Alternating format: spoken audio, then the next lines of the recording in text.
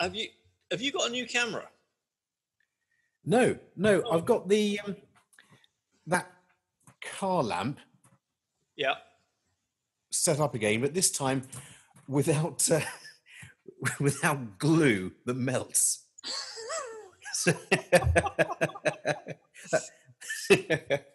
okay, so let's try this.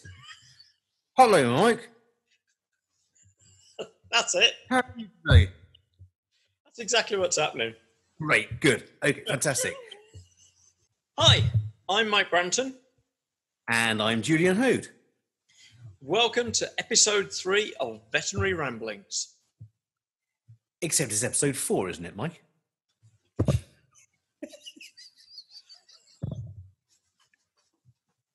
Five, four, three, two. Hi, I'm Mike Brampton. And my name is Julian Ho. Welcome to Veterinary Ramblings. So we've we've got a special guest tonight, Julian. Yeah, who we got tonight? Uh, he's got super super guy. Um, Hmm. I didn't realise that he was involved in quite as much as he actually is. Um, Yeah. he's he's uh, he's known to a lot of people in the veterinary industry, and and some people say that he is the frog whisperer. I think I know him. You think I know him, yeah. well. Yeah. The frog whisperer. Some Mhm. say if there's a snake in snake in the room, he's got it handled. There's a lot of work with with exotic birds and all sorts of stuff. But what you probably don't know is he's also a very well-known author. Let, Yeah. Let's get Matt Rendle in. Matt, good evening. Good evening. How are you? Hi, Matt. How are you? Yeah, I'm good, thanks. Yeah, you okay? Excellent. Yes. Well, uh, uh, as as well as we we could be. Um, I'm, As I'm really excited, Matt. Sorry, Julian. as well as could be expected. Thank you. Um, Except, look, let's get the drink counter going here. So this is this is a Negroni. Yep. And Negroni has uh, two shots of of gin. This is Plymouth gin. Other gins are available. You've Uh, you've got through most of that bottle, mate. You showed that as a new bottle last week. no, Yes, you did. I use it to cook. Right. Okay. Well, yeah, I did a bit of drinking while I was cooking. Yeah. Uh, Gin and prawns. got, got martini, uh, gin and prawns. Now there's a nice one, isn't it? Mm. That's a Greek Greek dish. Yeah. Uh, bit of martini Double shot of martini uh, and some Campari. So it's, it's and a double Two shot. Campari. one martini, one Campari. So uh, I think well, Campari is twenty five percent, and uh, martini is probably very little. That's only fifteen percent. There you go. Fifteen percent. Yeah, yeah. Or it's a And, and your Plymouth gin is sixty percent overproof navy. Sixty percent. So um, I I raise you your gin and tonic to my four, possibly five drinks already. Get that counter going. And Matt's got orange. Squash. Yeah. Which is which is great. And actually, we're going to wish tomorrow morning that we'd had that orange squash instead, aren't we? Quite probably. Have you have you covered up your chairs by the way? Is that a sort of are you decorating This your room? year- Oh, it's because I'm in the cat's bedroom. Oh, I see. Right. That's, that's not a euphemism for something. I'm genuinely in our in the bedroom the kitten sleep the kitten sleeps in. So she pretty much destroys everything. So Good. I thought it was some sort of Mrs. Faversham type of uh, scenario, where all the all the if that's how you want to imagine me, that's absolutely fine, Julian. You know. no. I'm really excited to, to welcome you tonight, Matt, because um, what you probably won't know is that when I used to race bicycles, um, I used to race for a trade team called Blazing Saddles. And of course, Blazing Saddles is the title of one of your top selling books. Um, and it's all about the, un- the unusual. I'll, sh- I'll show you if you like. It's, it's all here. Um, here we go. Blazing Saddles, the cruel and unusual history of the Tour de France. And I, I'm just Yeah. thinking, what a crazy coincidence that is. Yeah. Um, Mike. Yeah. I, I, I, I don't I don't think that's how Matt spells his surname. Sadly not. No. and I'm fairly sure Matt hasn't done the Tour de France. Am I right there, Matt? I'm not being Yeah, disparaging. that's, a- that's a fair assumption, Julian. I think. Yeah, I've not done the Tour de France. I've been I to France it's got a slight list of me. but, but yeah, Yeah. not me. Yeah. Oh, You, you, you fucked up, haven't you, Mike? Oh. Was that was that a Google search? yeah. Did, did you did you put the whole of Matt's name in? Uh, RVN as well, Oh, or, or just No. No, and and it all came up, and I got all excited, and, Yeah, and yeah. obviously you you know that I've I've been racing bicycles for years, and so bicycles, and a, a little bit like Graham, when when Graham came up, and, and he'd written about all of the great climbs in the Tour de France, and and riding a bicycle and everything, and I I just got a bit excited. I think you're getting fixated on the Tour de France connection there, Mike. Um, Oh. it- it's very unlikely, isn't it, that that anyone we invite from the veterinary field will also be major eventers in the Tour de France, isn't it? I know there were one or two, one or two. But not the one or two we've had. Okay then, as you say. I thi- I think I do own a yellow jersey somewhere, but that's as close as I get. I think so. Well, that's good. That's good. That'll that'll help Mike. Um, I'm sure get over his um, pathetic error. Good. Sea Shepherd, is it? Yeah.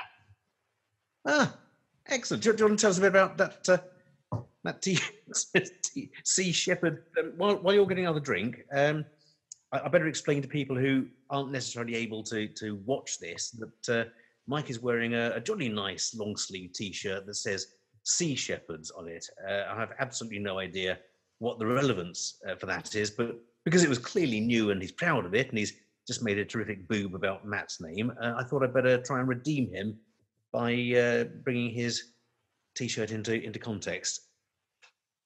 Excellent. Well, it, it was actually Oceans um, Oceans Day or, or Protection of the Oceans Day this week. Um, Ah. But let me break off just for a moment because Yeah. I'm going to mix myself up a nice gin and tonic.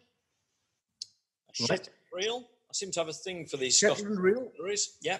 So I'm going Very to nice. that up gins are available. I will share that with you um, now. Great. Pre-recorded that, Matt, so don't worry about it. Right. Please, fine. How many of these have you done? Eh? We've done a few. We've done a few. And A few. Is it seamless? It's all seamless. Right. Okay. Great. So tonight I'm going to prepare you a special one, which is the Shetland Reel. Now I'm particularly into uh, ocean stuff, as you can probably tell by the t-shirt that I'm wearing. So a nice Shetland Reel from another Scottish distillery. Seem to have a thing about Scottish distilleries, don't you think? So first off, in goes the ice. Secondly, you'll have noticed already that I do like to zest the fruit that I use. The smell of a drink as I rub this around the rim is half the experience of the flavour. Just going to cut the edge off here because this makes it easier just to put that dribble of lime into the top. Now for the Shetland reel. This is also a very good one with sea kelp, but I haven't got any sea kelp with me, so I'm going to keep it simple with the lime. Nice measure of gin there, and in that goes. Sticking with my favourites, Fever Tree. My special mixer I'll throw at you. my special mixer here. So just pour this down. This aerates the tonic as it dribbles down there mixes into the gin. There we go. Just aerates that out. So, Shetland Reel. They're good for several. They do different flavours, but this is one of my particular favourites. the Shetland Reel Ocean. Good, simple flavours. Very, very nice. Cheers. So, so Matt, having having discovered now that you're not uh, a, a leader in the Tour de France authorship uh, series, um, you, you are actually rather more better than that, aren't you? If I may use the term so ungrammatically correctly, you're better than anyone in the Tour de France because you are one of the leading veterinary nurses for exotic species in England, if not the world. Is that right? I don't know. I don't know about the world, but yeah, I'm, I'm reasonably experienced with exotic species, and I've worked in lots of different places with wild species as well. So yeah, I've do- done my time. So even tapirs, yeah, Even Right. tapirs. three species, but but yeah, very nice. tapirs, very good for the heart. There's a tribe in uh, in Borneo that eat primarily tapir meat, and they have the lowest incidence of cardiac disease in the world. My, my friend did his PhD on resource partitioning in Colombia, and he says he? to this day, smoked Colum- smoked tapir was the tastiest thing he's ever eaten. So Is, it- is that right? yeah, it's supposed to be very tasty, but, But, they're but being in. Colombia, he probably drunk guys, something. or guys, smoked guys, guys, guys, guys, guys, guys. I'm sorry. I'm sorry to interrupt on this one, but No, is this is really in e- eating the animals? I- not, not good. I, I readily appreciate that we eat animal flesh, and as you know, I'm fairly into a, a sort of a keto style of diet, which almost excludes vegetables and, and carbohydrates. But uh, Can, can I, can I stop you there, Mike? Sorry, my, my pangolin's burning. I'll, I'll take it off the stove. oh, I'm sorry, Matt. Sorry about that. Sorry about that. We we just killed that. I'm going to make a gin. Look at that. You're impressed, aren't you? The nose is a bit long because it, it was fine, but but it sort of stretched as it as it tried, and in the end, I had to get a had to get a pencil under it, just like that, to stop it drooping Right. anymore. That's that's definitely the best homemade tapir I've ever seen. I, I have to Amazing, say. So there's I, I couldn't do the legs, so I had to have him lying down. Right. But but there's look, really very little difference, isn't there? They're, they're almost identical, actually, Julian. But what concerns me is that a person known for his orthopedics couldn't do legs. What's that all about? Leg- legs are tricky old things, Mike. Yeah. They're, they're, they're mushy, you can't do a thing with them. My orthopedics in slugs has never really taken off. Fair enough. You were determined to get tapirs in early, weren't you? I wanted to get tapirs in. Yeah. They're my favourite odd-toed ungulate. So, so what's the what's the link, Matt? I mean, what's do you you were saying that your friend's PhD is in in He did, he, uh, he did Uh, his resource partitioning, I think. Sorry, yeah, resource. resource partitioning in reptiles in Colombia. Right, So he spent four or five years living in Colombia doing his PhD, right. and mostly eat chilies and rice is basically what what your diet consists of, and fish. And I think the fish gets a bit samey quite quickly. So um, the tribe that he was living next to, uh, he helped out on a few occasions, and they would bring him the odd bit of um, tapir every now and again as a as a treat, which he said he kind of re- refrained from for a brief period of time, and then found out it was actually delicious. Um, but yeah, I can't I can't say that I. I, it just it always makes me smile because um, people often ask him about his cuisine, and um, he often refers to that being the favourite thing he's ever eaten. He's eaten lots of strange stuff, but yeah. Inside. have you ever met a tapir, Julian?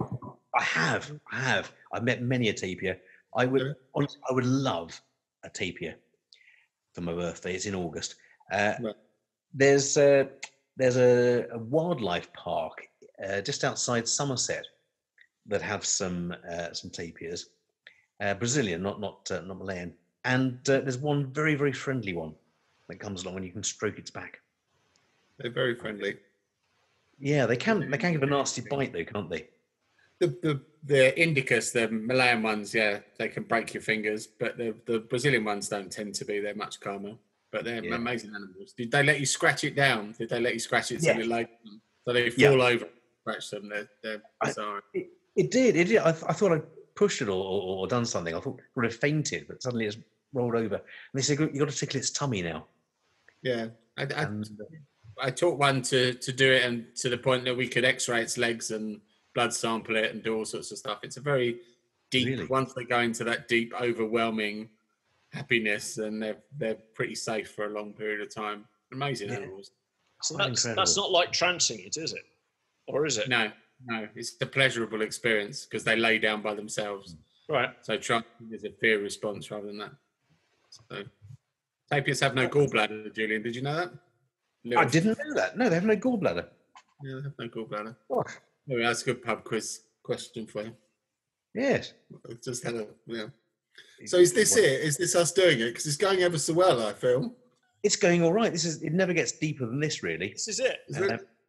e- every every now and then, uh, one of us will do a, a quote from from an old um, Pete and Dud, uh, you know, Peter Cook and Dudley Moore, Oh, and they I used to do this this sketch with um, with Dudley Moore as the uh, as as the interrogator, and uh, as- as Peter Cook as usually Sir Arthur Grebe Streebling or Sir Arthur. Streebling. They, uh, I, I spent I spent the last thirty years of my life attempting unsuccessfully to teach ravens to fly underwater. And just saying, teaching ravens to fly underwater will instantly segue into a. Any interesting stories about ravens, Matt? See how it works. It's great, isn't it? Seamless stuff. It's quite seamless. So um, funny you should say that, Julian. But yeah, I've I've had the um, fortune or misfortune in some respects to treat a raven um, that belongs to the Queen. So the Queen obviously has her ravens at the Tower of London. I think um, I think Mike and I had quite a stressful morning with one of the ravens from the Tower of London. Oh, I, rem- I remember that, And What what happened was that um, we we'd got to look at.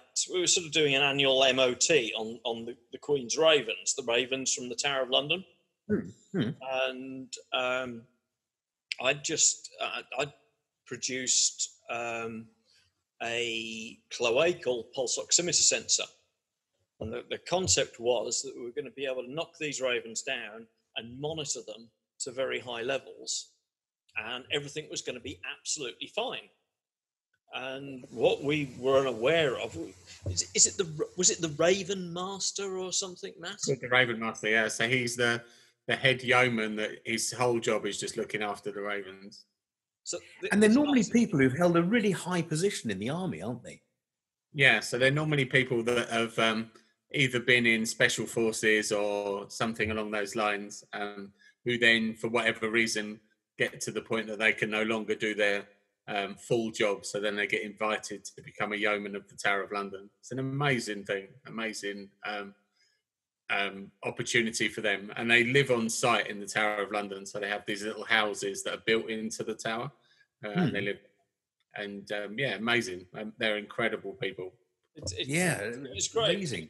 It was great fun. I mean, but one of the intriguing things I find is that the the, the, the Raven Master, this new Raven Master, he'd had his instructions the night before or several days before with what we had to do with with the Ravens and, and what he was supposed to do. And bless him, he, he, he rocked up with, I can't remember how many there were. And um, we, well, I can't remember. We knocked the damn thing out, didn't we? And oh, we got we got a Yeah. raven in the background there, Julian. You need to I, I, got a, I got a small raven I stole from the tower a few years back. It was either that or the crown jewels. Couldn't decide which to get, and the yeah, raven seemed- It's, it's either a black cat or it, or it's a raven. But anyway, so we, we, we induced anaesthesia on the first one, and uh, went to intubate said patient, which immediately vomited. So all all hands went to decks to try and clear the whole airway, protect the airway and, and the works on this vomiting raven. And this this hardcore special forces guy had felt sorry that they weren't going to get their breakfast, so he'd fed them just before he brought them in. Yeah, rookie error. Well, Oh, yeah, no. whatever. I, But I, I suppose the, the punchline to that, the punchline to all of that was was I got home. We, we had a pretty stressful morning that morning, didn't we? Hmm. We, we saved the saved the bird and obviously cancelled all the rest of them that had come in. But uh, I got home and I was asked, "So the Ravens from the Tower of London, how exciting is this? Did you get the pictures? Did you get the video? Did the new pulse oximeter sensor work?" Uh, actually, we were too busy doing. What? You didn't get any pictures? we, never, we never did get the pictures, did we, Matt? No. We never how got the pictures, but uh, oh well, that's life. That's life. How many ravens does the does the Queen have? How many are there at the tower? Uh, from normally they have about eight. So and they're all rescues, so they're all come from rescue centres from the north of England normally. So yeah, and they're not they're not winglets or anything. They can fly, but they just are trained to stand around in the grounds, and they have their own particular areas they stand at. So It's interesting. yeah. With sheep, it's called hefted, isn't it? When they're bonded to a particular area, is, is that the same term for for, I don't know what it would be called. They just and they're very specific. So when he opens the cages, they'll go and stand in their particular area, um, Yeah. and that's where they yeah spend that hang out away from the tourists as much as possible. I naively assumed that they were bred there, or, or they had a Mhm. you know, couple of hundred of them. So Yeah, no, they just have, and they tend to. Um, they're very. Some of the birds are very old. There, they're in their twen- late twenties, and um, they tend to have contacts with people where injured ravens come in and get rehabilitated, and they end up at the tower. The so when did that start? That tradition? Um, it depends who you talk to. So if you read historians' guidelines, it was very much early 18th century. Um, but if you talk to the people that are actually know, they think it was pretty much made up in the 19th century. Um, Hmm. The origins of it when because um, the Tower of London was the first zoological type collection in the UK, and they had polar bears and all sorts of random stuff. Hmm. In the days where you could, they would die and you would just get more. And um, I think it's a kind of nod to the fact that it was at one point an animal collection, and they kept the ravens. So, Right. Yeah, that that's the, the kind of history behind it. Because they, they found rhino skeletons and things there, haven't they? And Uh, everything, yeah. So they, they they had lots of. Um, it was in a very different era where they would just have lots and lots of species that would get collected and be gifted, often to Hmm. the royal family, and then they were kept in cages in their very small cages, um, and probably didn't live very long. But it didn't really matter at that point. They didn't have a perception of conservation or endangerment or anything, so they were just ship in a few more. So yeah, it's bizarre, really, when you think about it. re- How times really, really bizarre. I, I like to think that we've made some progress at least. In the Yeah, I think we're we're more aware certainly. Although, I mean, get, getting back, um, if I may, to, to, to tapirs or, or tapirs, I believe they're pronounced that way as well. Um, I would, I would love a tapir. I'd love a breeding pair of tapirs in the garden. Okay, maybe a bigger garden. I'd love to, but but I would never, never get them. I'd never get them because it would be unfair to do that. And yet, people do keep all sorts of ridiculous animals, don't they? They have no idea how to look after them. And I guess as a as an exotic nurse, a lot of your job must be dealing with the consequences of poor husbandry with those animals. Yeah, there's lots of people that buy things on a whim, um, and sometimes with no perception of how long they live for, or how big they're going to get, or um, the challenges of keeping that animal healthy, and that is down to people just not not spending the time to research them. Um, and sometimes I find that very challenging. So some species are incredibly intelligent and are struggling. So parrots, particularly, people Mm. that buy macaws that um, don't really realize that they're going to live to 50, 60 years and be incredibly demanding for their whole life and destroy everything that they get hold of. Um, Yeah. And they keep them so- solitary. Um, and I was lucky enough to work in Peru for a short period of time and having seen flocks of macaws where um, Hundreds of them together. incredible, yeah. Uh, Yeah. With the guide laughing at me because I saw like three macaws one day and was kind of leaping about with excitement. And then he was like, kind of, you're an idiot. and then the next day we saw a flock of about 700 um, to the point that your neck was hurting from looking up and seeing them, and you just think just incredible. Um, and to keep something like that in in it in kind of not in Mm. contact with its own kind is incredibly hard. Um, and hence, and then they're surprised when they start pulling their feathers out or um, having malnourishment, and yeah, it's really sad. Yeah, it is. And I guess the problem is that they are relatively easy to get hold of, aren't they? You, you just need to rock up with your money and uh, you take one home with you.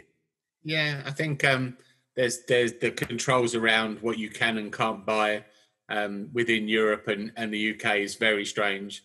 Uh, even from dangerous animals, some of the things that I think are potentially dangerous are not covered by any licensing, whereas other things that are not particularly dangerous are. Um, so it, it's a very complicated subject because it is down to the people that own these things to to try and look after them properly and work with them safely. But uh, the, the rules are very very odd. So you Mm. can buy a species of um, giant centipede that could land you in hospital with one bite.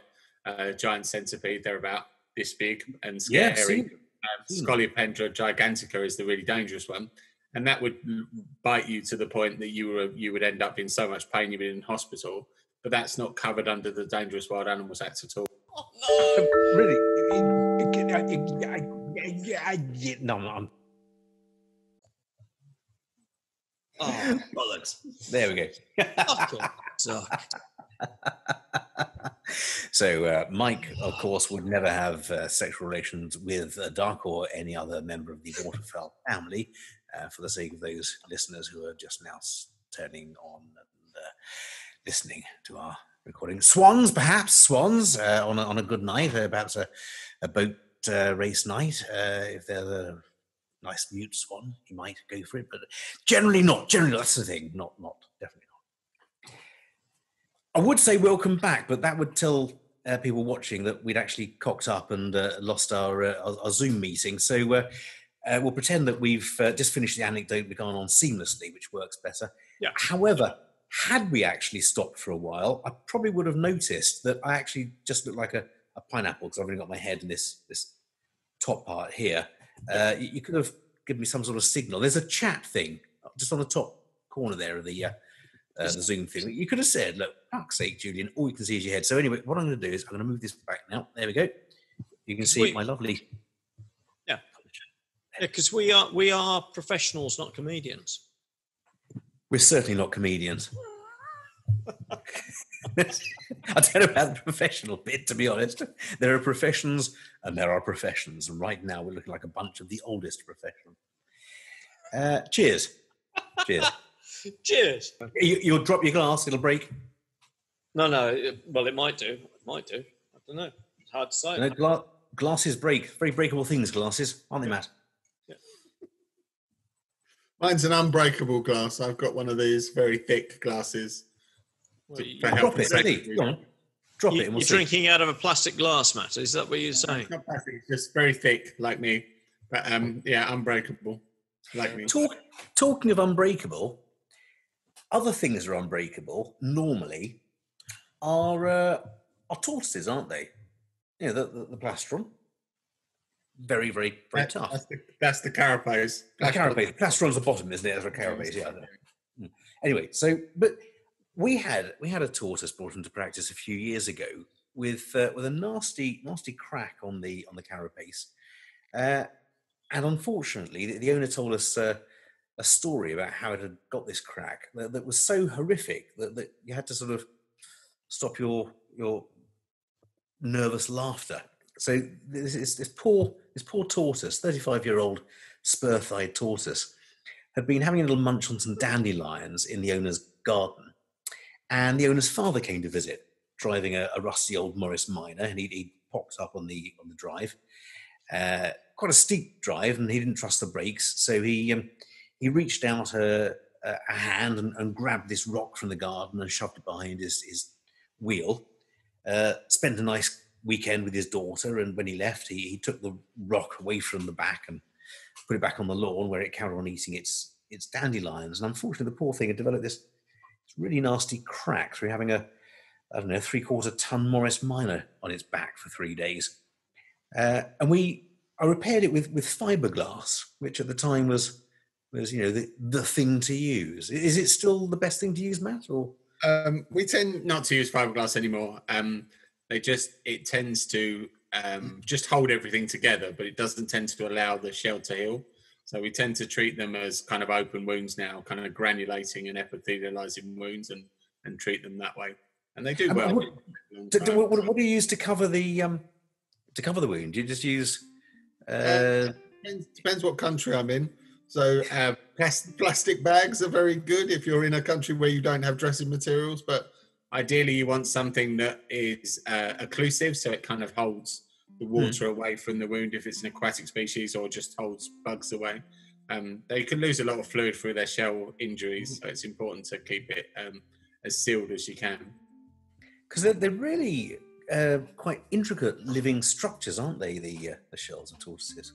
Yeah, they hold a lot of blood supply, and they have uh, they they have the ability to shunt blood through their shells to enable them to lose heat and also gain heat.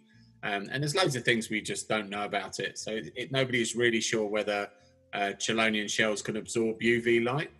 Uh, you would think they probably should be able to, because obviously they the, they're the majority of, of um, Chelonians is their shell, uh, but no one's really sure. Um, and when you see some species bask, they tend to put their heads and their legs completely stretched out, which would make you think that perhaps they can't. But um, and also when you see sea turtles that are covered in barnacles and plant life and all sorts of things, they you'd think that that would really inhibit their ability to to uh, produce UV light. And there's all sorts of hypotheses about whether they don't get all of that detritus on their shell until they're adults. So by which time they've done most of their growth anyway, and their calcium is already sorted. But who knows? We just don't know. So much we don't know. Interesting. I, I can tell you one thing on that. Um, UV light I can't comment on, um, but I can comment on infrared light. And the they seem to be able to absorb um, infrared light and block that transmission through the shell, uh, but not in not in other areas. So I'm going to show you a little a quick little video here. Um, you'll notice I'll play it again quickly that you hear the whoosh, which is coming from the heart and the aorta, that's where we're picking up the, the Doppler sound, um, is then later picked up as that pulse wave travels out um, to the to the carotid artery, is then picked up by the pulse oximeter. So you'll hear the whoosh, and then you hear the beep of the, the pulse oximeter. Have, a- have a listen to this, then we'll talk about the heart. Yeah.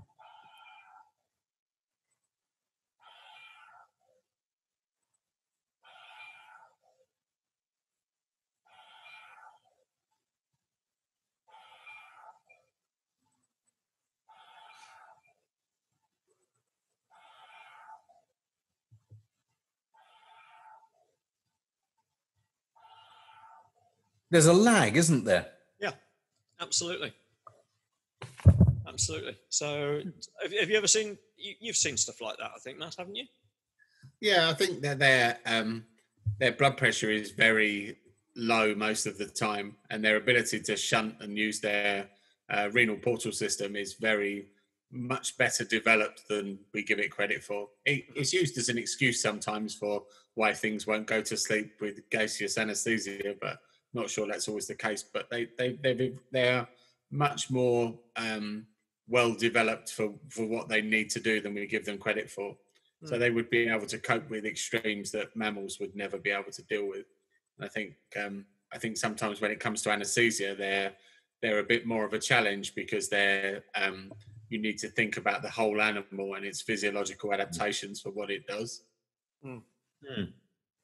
Yeah. I think, I think certainly in, in that particular case that we were involved in there, um, one one of the surprising things for us was was listening to the difference in the heartbeat instead of the normal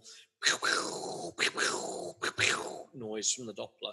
We got this sort of sound, and uh, I, I found that quite fascinating because we, we glibly describe it as a three-chambered heart Yes. The reality. Well, the, we we describe it as the three-chambered heart, but the reality of that is, were it a true three-chambered heart, then you would get oxygenated and deoxygenated blood mixing. Yes. So Yeah. you wouldn't actually see a circulatory saturation of anything near 99%.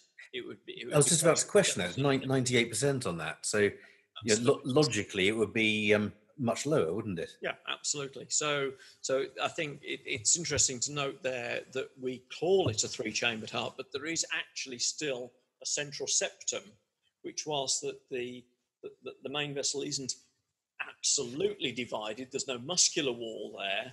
There is actually a, a delineation between the two sides. Um, so it's an So- so early a development physi- of four-chambered heart. So there's a physical separation. It's not just done by laminar flow. There's no uh, separation just due to uh, left and right laminar flow causing loss of mixing. as far as I'm aware, I, I- do you want to jump in here, Matt? I, as far as I'm aware, there's there's uh, there's actual there's actually a separation there. Yeah, I, I think it Or having a depends on the species. I think a, a lot of it depends on what they are. But I think it's a combination of things.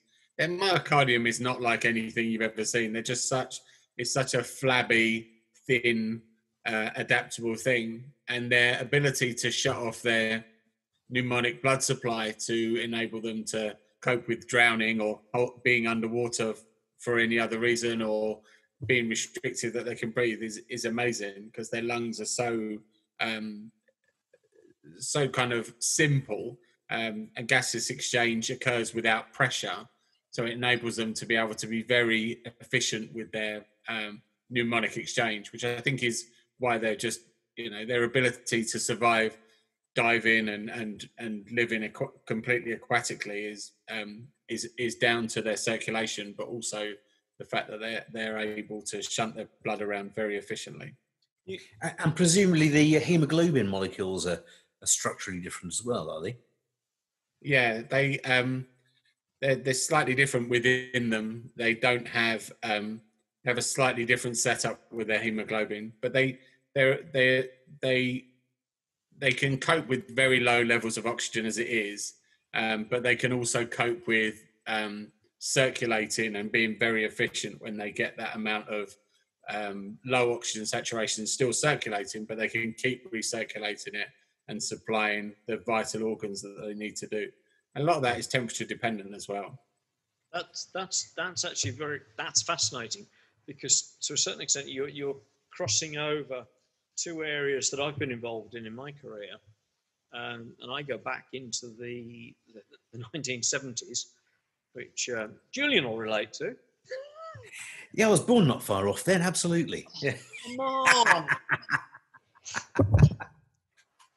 okay, I'm going to wind the clock back on No, this. I'm, a, one. I'm a 60s child, it's all right. I was going to say you you you grad. When did you when did you graduate with your first degree? Uh, 85. Oh, you sod. okay, so back in 1979, I don't think you were even thought of then, were you, Matt? No, it would have been seven then. So- you were seven. bring, bring it on. Back in 79, I was a lab technician um, whilst at, at college working on a project to prove the concept that the color of blood changed depending on the amount of oxygen being carried. And we were using a mass spectrophotometer at the time, and the species we were working with were crabs. Now, as everybody listening will know, crab's blood is blue. It's hemolymph rather than blood, isn't it? Uh, it's, I it's- believe. is the- Yeah. yeah, sorry, Is, is that right, Matt?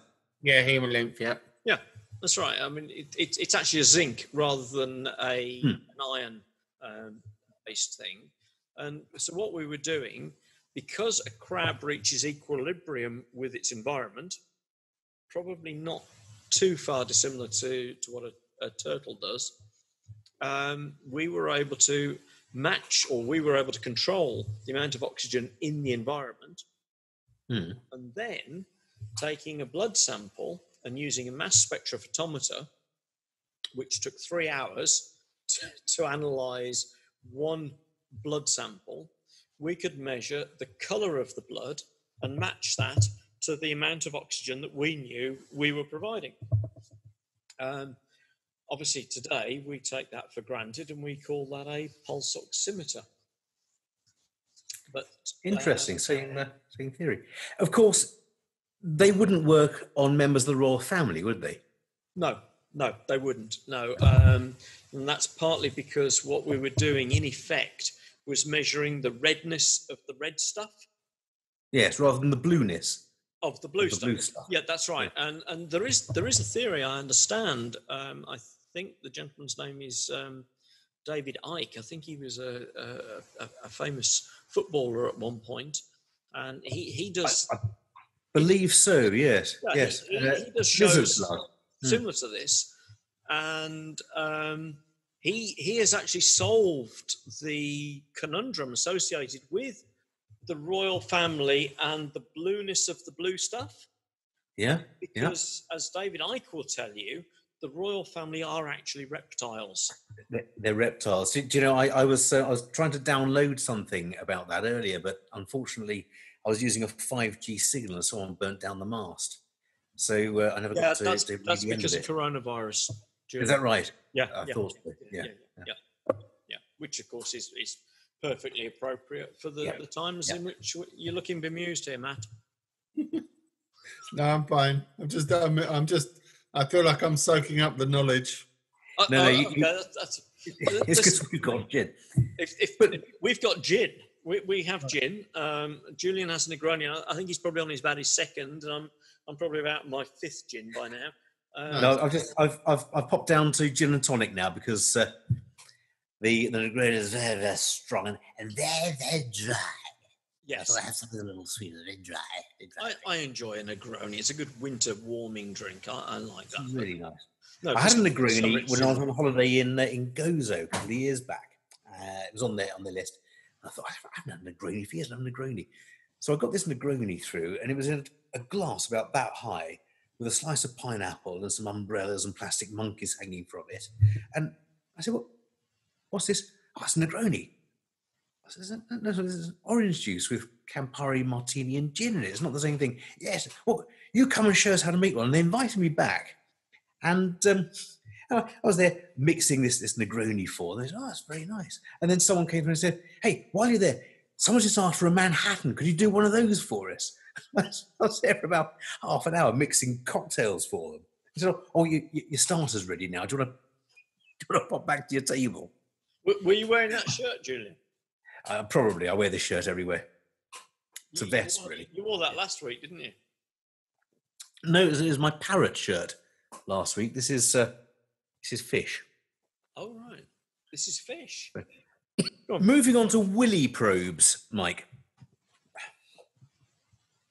I, I, I, I thought you'd never. Sorry. I, I, I said that. No, I, I realised I said that and shifted on my seat. I didn't mean that I'm moving on to a willy probe. I don't want to give you the wrong impression. Viewers, look, that was just you know that was a mis uh, uh, timed movement of myself. Okay, so uh, Mike, would you like to discuss um, willy probes?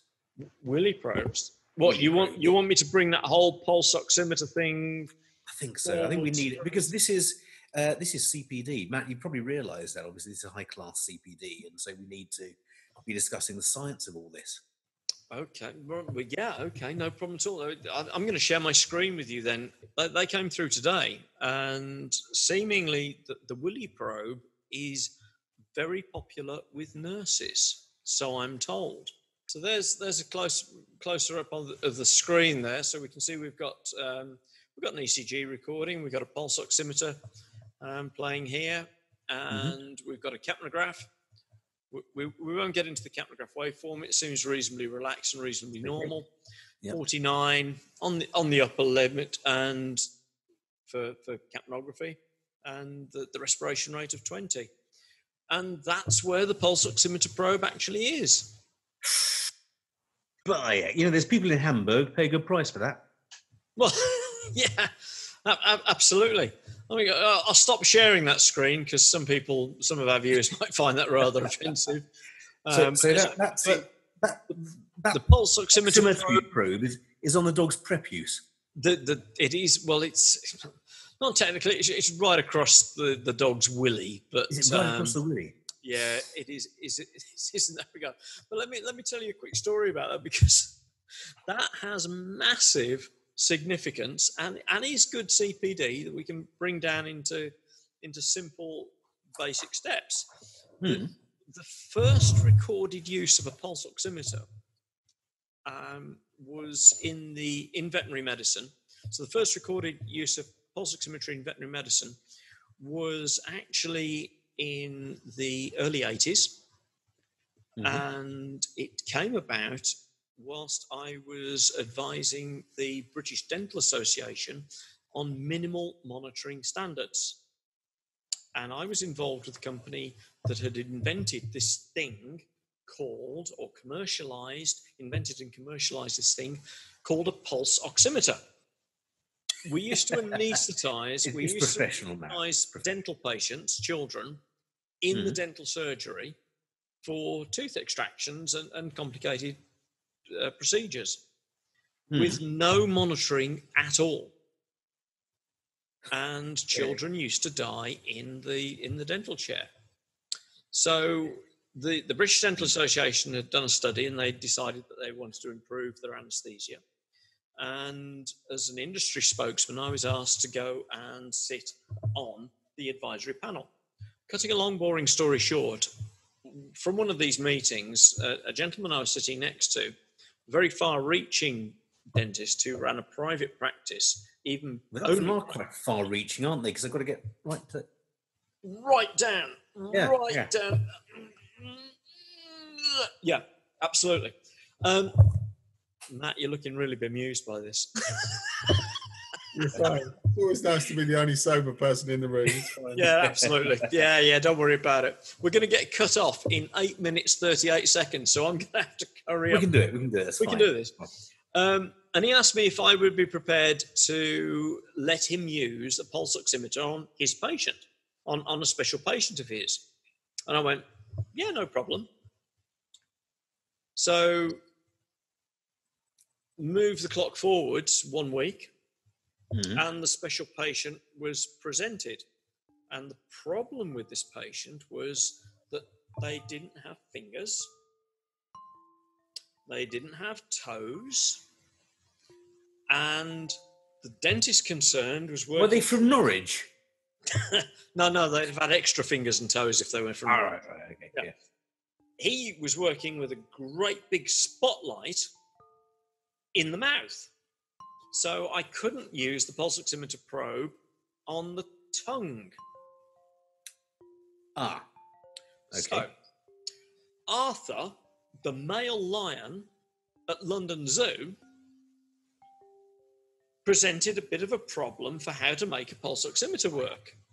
okay. And the segue there is that the only place I found I could fit this human finger sensor for a pulse oximeter was on Arthur's willy. So, is the take-home message there that lions have small willies, or or, or what? I, I'm missing the take-home message there. The, the take by by the way, kudos for getting a probe on a lion's willy and still being alive to tell the story. Yeah, he was anaesthetised at the time, and and and and I'm sure Matt can tell lots of other stories about where he's been able to put pulse oximeter probes far better than I. Um, the take-home message is: if you want to use your pulse oximeter, find a well-perfused capillary bed. Hold on, hold on, Mike. I'm gonna make some Yep. notes. Make, right, make some notes, Julian. A well-perfused capillary bed, Yeah. because you're looking for a pulse to make the pulse oximeter work. Mm-hmm. Okay. It's got to be accessible because you want to be able to put the pulse oximeter probe on somewhere. Matt, wake up, please. Stop looking down at your phone. Pay attention. Okay. He's on the high score of Crystal Maze or whatever it is. Well, he probably is. He's always playing bubble pop or something. I don't know what he's doing, but he's not paying attention. Right. So Panda Pop. actually, we'll, we'll test him on this. So, Okay. well perfused capillary bed Yeah. that's accessible hmm and if you can, minimal pigmentation. Because you'll find that if there's a lot of melanin in the skin or or in the area that you're trying to work, the incredible intense melanin is there to absorb infrared light. And of course, the pulse oximeter is trying to shine infrared light through the tissues to measure the redness of the red stuff. So, so you're saying we've got well perfused capillary bed? Yeah. And minimum or minimal pigmentation? Yep. And, and accessible. If you've got those three things right, Yep. then you'll you'll get a good pulse should- oximetry reading. You should get a good pulse oximeter. So, so Matt, so what are, the, what are the three basics for a good pulse oximeter reading? I think there's four, but um, sorry to Go on then. contradict you, but uh, I think yeah, no pigment, somewhere you can get to, and decent amount of blood supply, definitely, and good contact is the other thing. Yeah, that's a, that's a good one. I'll, I'll, I'll give you that. Yeah, Mm-hmm. And that, that was pretty sciencey stuff, wasn't it? That was, That was very sciencey. yeah. That was good CPD, I think. CPD. Have you, But it have you got a doesn't class as CPD just yet, does it? Sorry? Because it's not CPD unless you reflect on it. No, no, you need the certificate. I've got a certificate, but, but have we? We can't give the certificate unless people have reflected on it. Okay, we'd better reflect on the CPD then. Are you ready? Matt, you happy to reflect on the CPD? Um, I can't wait. Okay. That's enough. I reflected pretty quickly today. What? So super quick reflection. I was able to do it pretty much instantly. It's okay. Here's today's certificate. There we go. So Excellent. CPD certificate for watching veterinary ramblings. Yep. Uh, this is to certify that the participant uh, was it is recognised as Julian and Mike's little superstar for the year 2020. Yeah. And it's signed. It's signed me and him. Yep. So that's a that's a valid CPD certificate. So you can, you can all do a screenshot now and uh, and print that out. And um, Did, that's did you get that, Matt? Great, yeah, marvelous. Really? No, I'm, So let me see if we can get him. Let's phone him. So whether this will make the final cut or not, I don't know. But for those for those viewers that are uh, listening and not watching, uh, this is all part of the plan. We um, uh, intermittently cut the um, uh, the meeting and restart just to keep the interviewees on their toes. It's uh, I think I think I think Matt's blown us out. can we can we make a, a new mat out of things we have lying around the house? That's, that's possible. We- It's an odd thing. It's an odd thing, isn't it? Hmm. That's less obvious. How about if I I can move it over? Look, there we go. Puts me in sort of shadow. It's the Mysteron there. This is the voice of the Mysterons. I remember that. Captain Scarlet. Dun, dun, dun, dun, dun. Aquamarine. No, that was that was um, Stingray. Was it Stingray? Stingray, Stingray.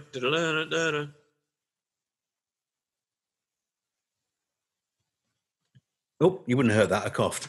I put it on mute. Uh, Stingray, Aquamarine. I used to fancy her. I did. I did. She was, lovely. She really was. I, I was growing up in my teenage years. I, I used to look for a woman who had that sort of. And I have to say, I, I went out with a few of them and realised it's it's not living the dream after all. You know? No, no, it's not. The, the, it's, it's a good job you were doing that at that time because, of course, nowadays with this whole um, Instagram and personal selfie stuff, it's all It isn't. Get a bit of trout pout going. Yeah. I don't know. You, know, you, while, you take you take huge amounts of care of your appearance, as do I. Well, I, I was in makeup earlier on tonight, Mm. and um, Was it going- Deirdre doing it? No, not tonight. Not tonight. It was Karen. Okay. oh, yeah, Um, yeah. And and she she was putting the, the powder on because she Mm. saying that she didn't want the the spotlights to to actually glint off off the top of my head. It's worked very well. Yeah. It's nice. I'm, try- I'm trying to get Matt back here for two minutes.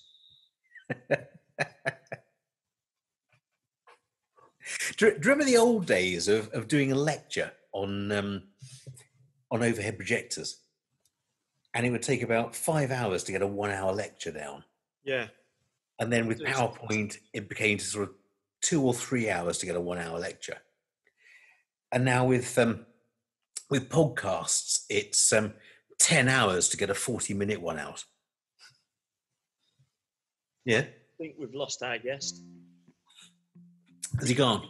Yeah, which is a great shame because you were going to tell us a joke, weren't you? I was going to tell a joke. I was going to tell a joke relevant to Matt because I think he would have really liked this. Uh, we, Mhm. You introduced Matt as the um, as the Frog King, I believe, Yeah. and so I was going to tell the, the, the joke about the wide mouth frog. And I Oh. know, I- I'm sure you've heard it, and everyone's heard it, but it, it always goes one more telling, doesn't it? Yeah. It's such a cheery little joke about this little wide mouth frog. I, I believe it was in uh, Colombia, and he's, he's walking through the jungle, and, and and he sees, and he sees a monkey, and he says, "Hello, what are you?" And the monkey says, "Well, I'm a monkey."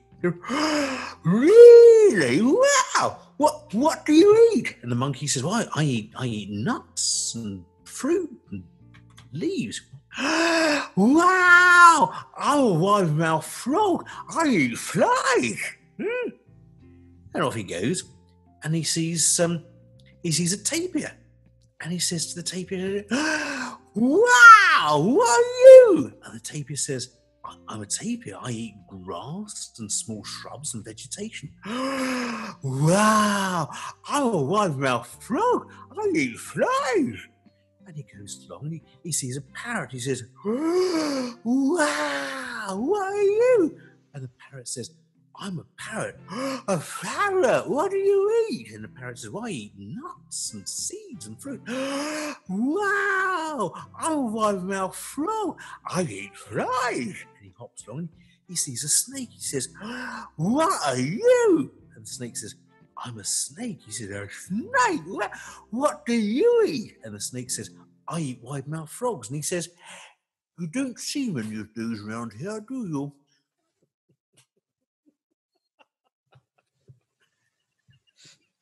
But on that note, what a fabulous evening. Um, What a great evening. good. Always good to catch up with you.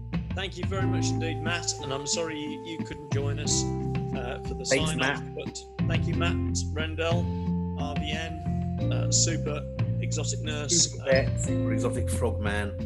absolutely. May your dog go with you. May your dog go with you too, Julian. Good night. Cheers.